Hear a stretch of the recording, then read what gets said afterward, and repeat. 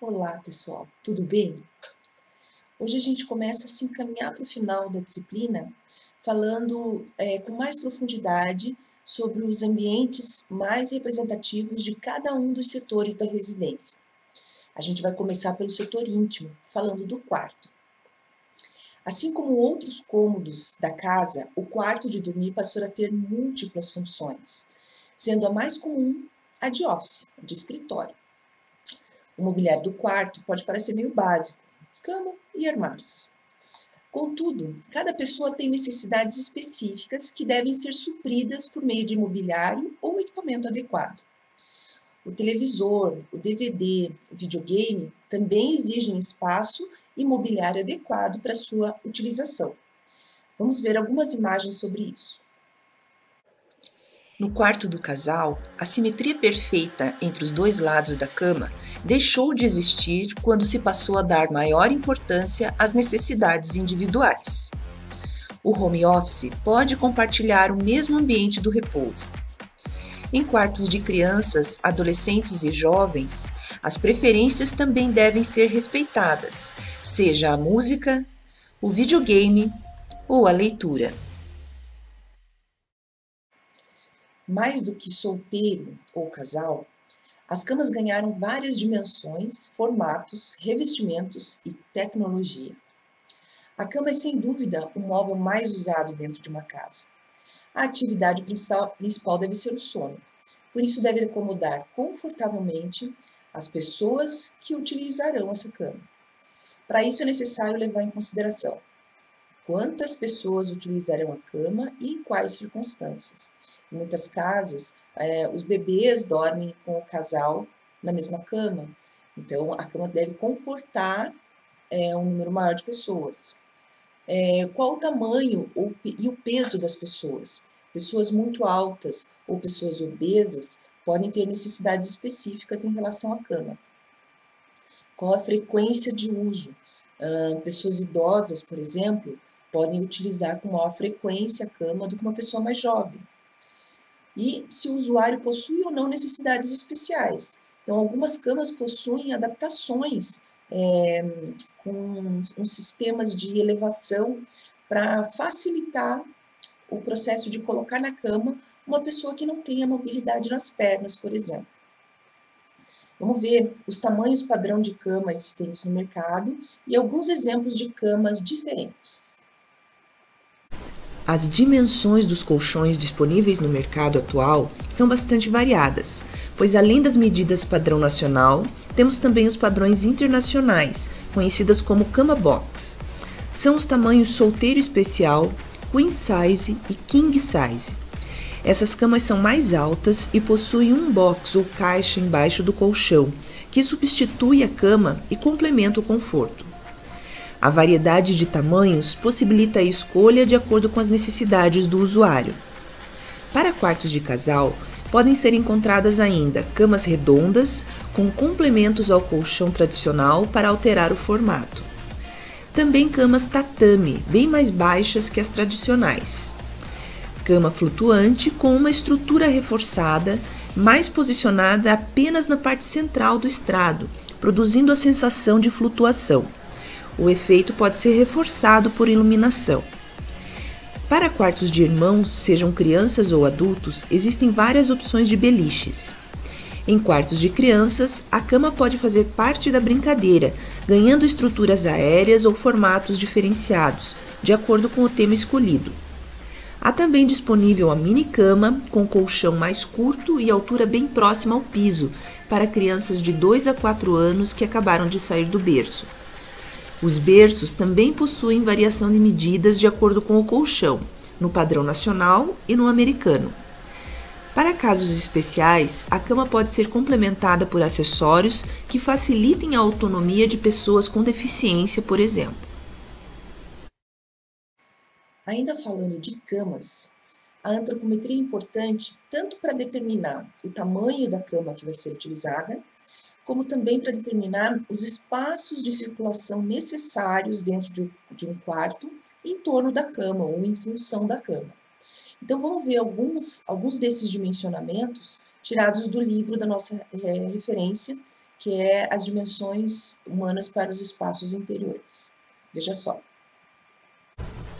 As dimensões apresentadas no livro foram calculadas com base em dados estatísticos, por isso podem ser arredondadas para facilitar o dimensionamento do projeto.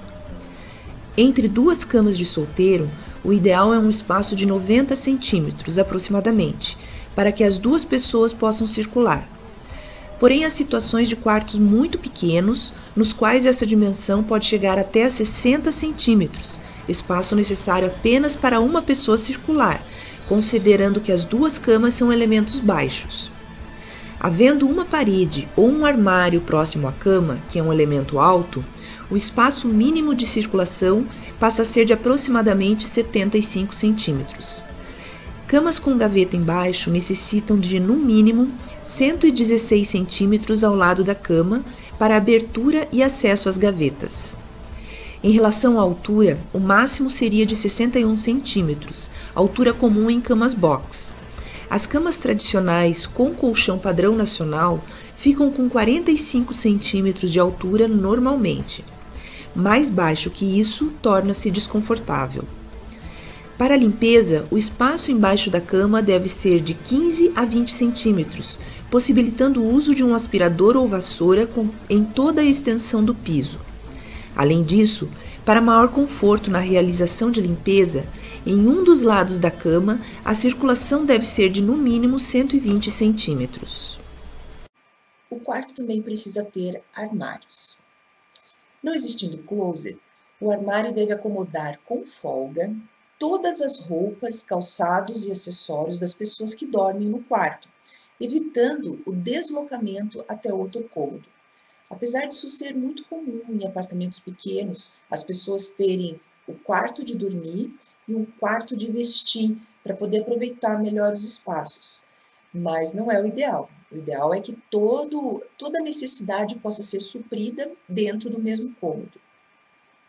Existem roupas longas, como vestidos, ternos, casacos, sobretudos, que nem sempre podem ser acomodados em prateleiras ou dobrados no cabide. Assim, deve existir ao menos um compartimento no armário para acomodar tais peças. E nesse caso, a antropometria entra de novo como fator importante, pois o dimensionamento do espaço dentro do armário vai ser em consequência do tamanho da pessoa. Pessoas mais altas vão exigir um espaço maior para esse tipo de roupa. Pessoas mais baixas vão exigir um espaço menor. Roupas pequenas como cachecóis, roupa íntima, meias, gravatas, cintos, lenços, devem ser acomodadas em gavetas em quantidade suficiente para ser rapidamente encontradas. Então, essas roupas pequenas, se elas são acomodadas é, em prateleiras, elas acabam se perdendo. Dentro de gavetas, que o compartimento é menor, você consegue organizar melhor e ainda facilitar a visualização, porque a gaveta se abre e a pessoa consegue ver, visualizar todas as opções de roupas ao mesmo tempo. Vamos ver alguns exemplos de soluções para closets e armários.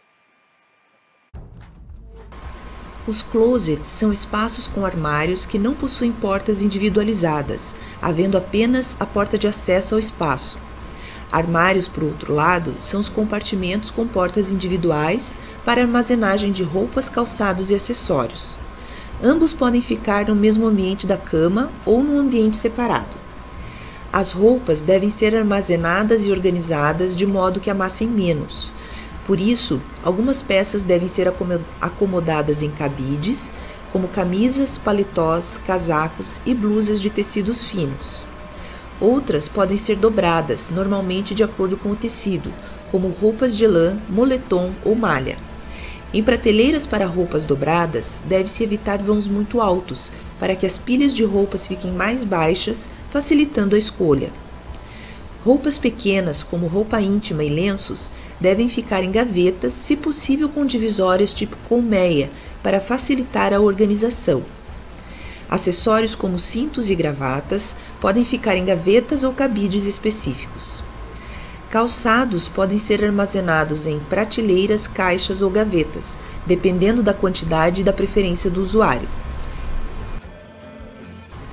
O dimensionamento dos armários e closets deve levar em consideração as diferenças antropométricas de gênero, especialmente quando são compartilhados pelo casal.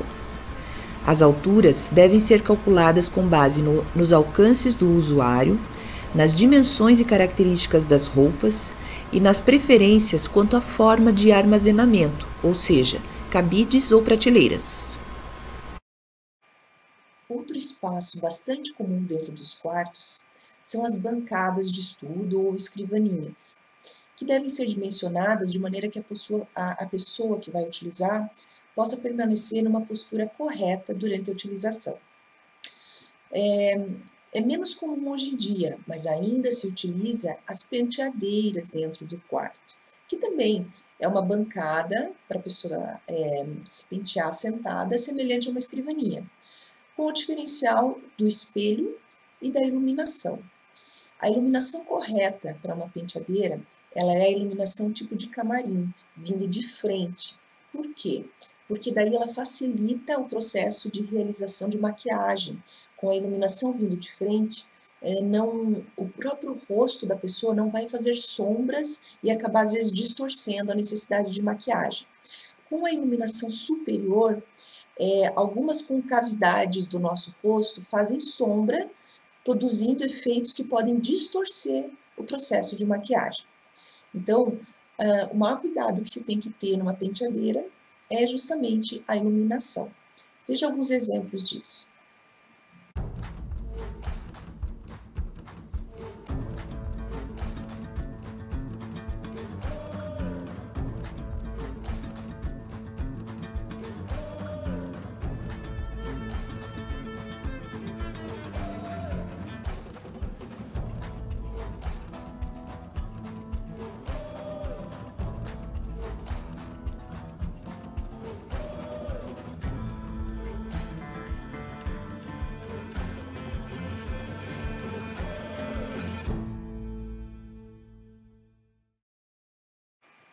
Então, assim a gente encerra essa aula sobre quartos.